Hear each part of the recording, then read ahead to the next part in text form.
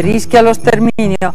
Gli appelli per salvare gli indios senza protezione dal virus e senza cure e ancora ultime scoperte sui bambini e SARS-CoV-2.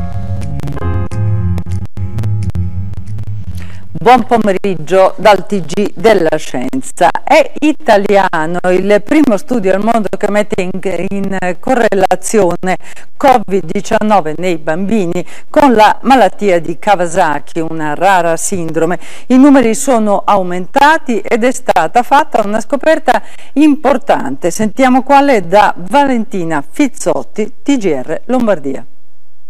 Sempre si pensa che ci siano dei virus a stimolare il sistema immunitario e quindi a causare indirettamente la malattia di Kawasaki, ma prima nessun virus era stato riscontrato.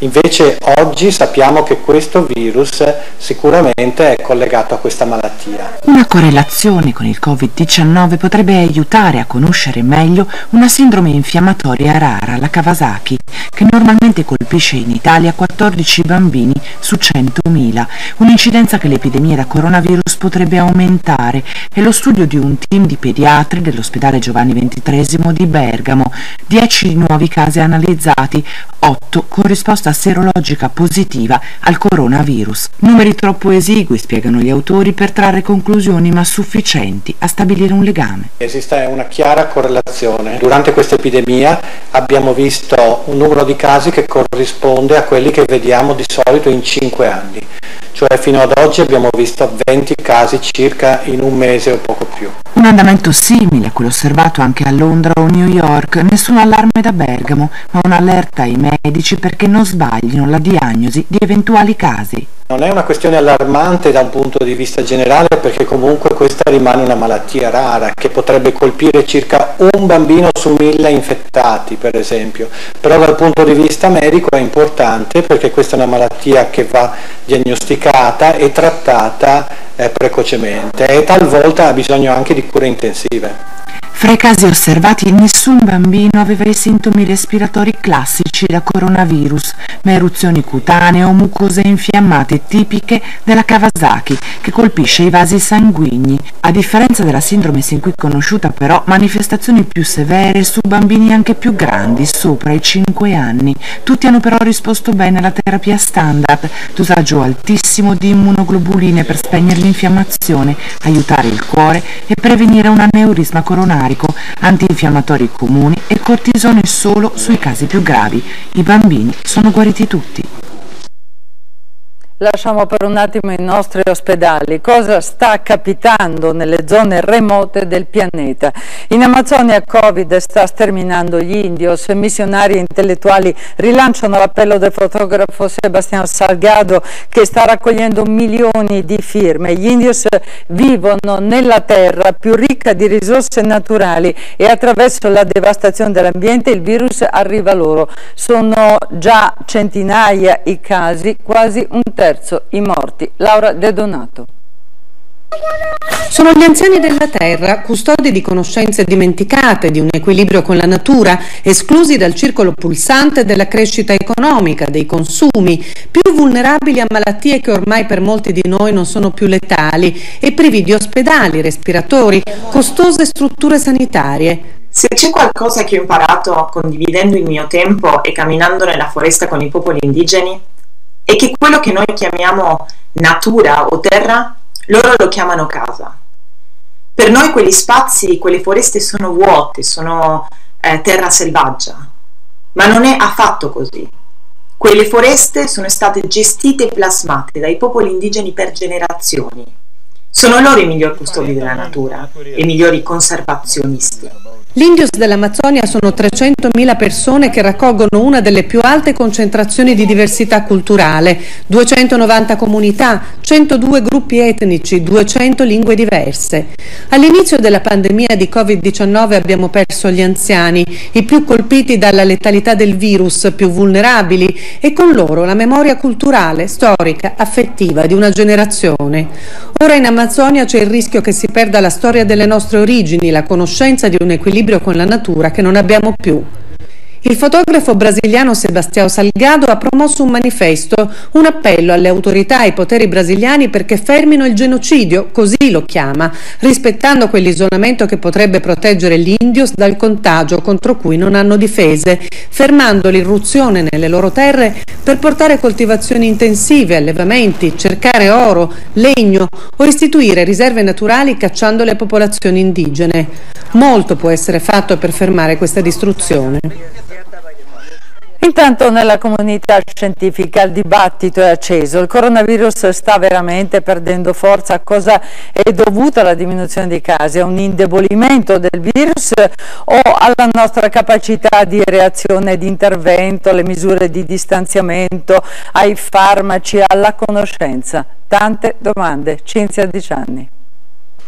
Mentre le terapie intensive si svuotano, qualche medico pensa che il coronavirus stia perdendo un po' della sua carica aggressiva per preparare un ritorno in autunno, fenomeno non nuovo per le epidemie del passato, a volte una malattia ne eclissa altre, come fece la peste nera con vaiolo e morbillo.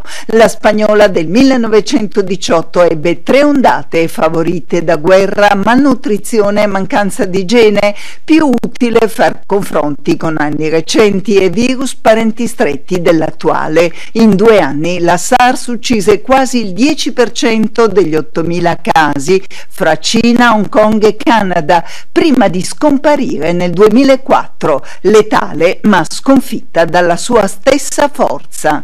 La SARS dava una sintomatologia molto importante con una contagiosità soprattutto nella seconda settimana.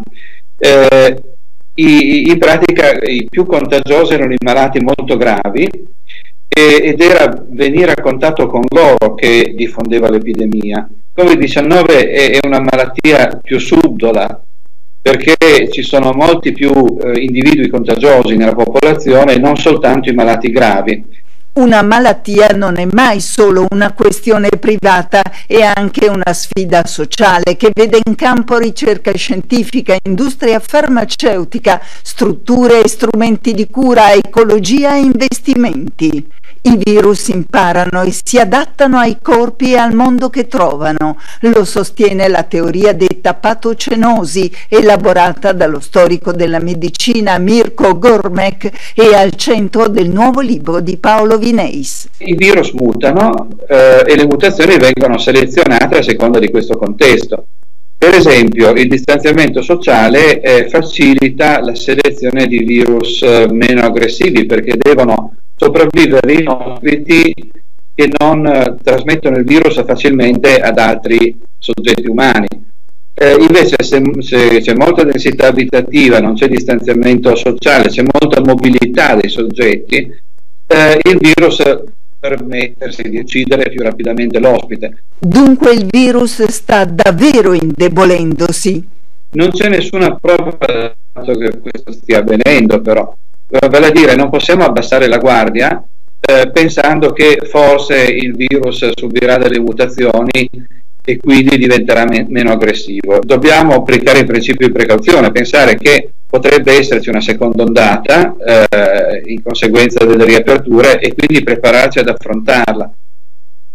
Ed è appena uscito uno studio che riguarda la diffusione del virus attraverso il fiato, prende in considerazione distanze molto ravvicinate, la ricerca pubblicata sulla rivista PNAS è seria, ma è bene fare qualche precisazione e Maurizio Menicucci ha sentito un esperto.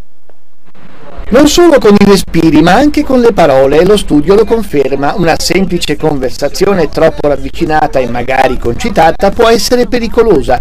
I ricercatori americani hanno calcolato che ogni secondo emettiamo migliaia di goccioline di saliva che possono trasportare il coronavirus. Le hanno divise in due classi, le droplet più piccole capaci di restare sospese nell'aria fino a 14 minuti, la cui probabilità di veicolare un virus è una su 10.000, e quelle di maggior diametro dove il carico virale è più elevato. In un minuto eh, di conversazione circa mille contengono un virus. Quelle lì sono la principale fonte di contaminazione, non tanto la permanenza nell'aria delle microparticelle eh, più piccole che però hanno una concentrazione di di virus molto molto molto più bassa. In ogni caso i risultati della ricerca non devono allarmare perché le condizioni erano piuttosto insolite. Un ambiente molto confinato e molto eh, anomalo, cioè una scatola nera attraversata da un laser di 30 cm senza ricambio d'aria. Ma di solito noi non parliamo a una distanza di 30 cm. Raddoppiando la distanza, la probabilità di infettarsi dimezza?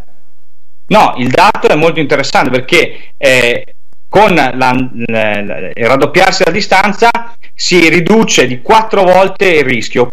E se volessimo abbatterlo ancora evitando di alzare la voce? Sicuramente quando uno usa la voce alta emette più goccioline e più lontano, quindi allontanarsi per poi urlare non è di grande utilità. La cosa definitiva è sicuramente utilizzare una mascherina che aiuta a evitare che queste gocce vengano mandate molto lontano da, da, da chi le, le produce. Un solo virus può dare l'infezione? Questa ipotesi è vera in alcuni casi, in altri no su il coronavirus la teoria che una particella virale da sola basti a dare la malattia non è ancora verificata. Oggi è la giornata dedicata alla radiologia senologica. Nella fase 2 è importante che le donne riprendano i controlli per la prevenzione del tumore mammario interrotti per l'emergenza Covid. Alessia Mari. Sono state 371.000 le diagnosi di tumore l'anno scorso in Italia, più di 1.000 al giorno. Nei primi mesi del 2020, a causa della quarantena da coronavirus, sono calate del 30%, prima per la chiusura degli ambulatori, poi per la paura di contagiarsi. Decine di migliaia di diagnosi perdute da recuperare con la fase 2.